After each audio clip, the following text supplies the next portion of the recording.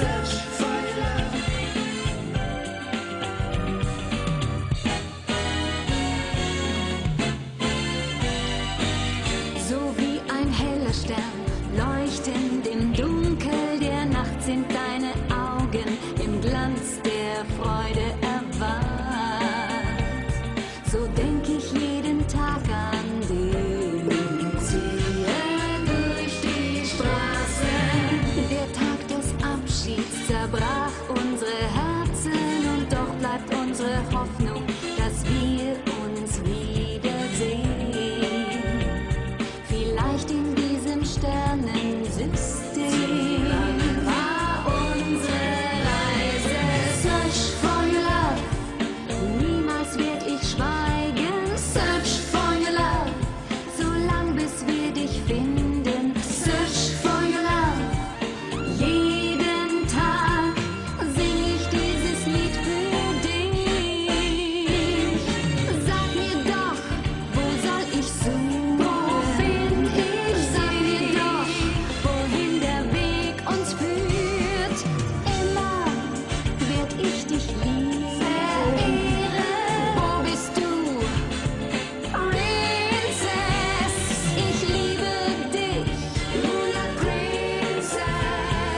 吧。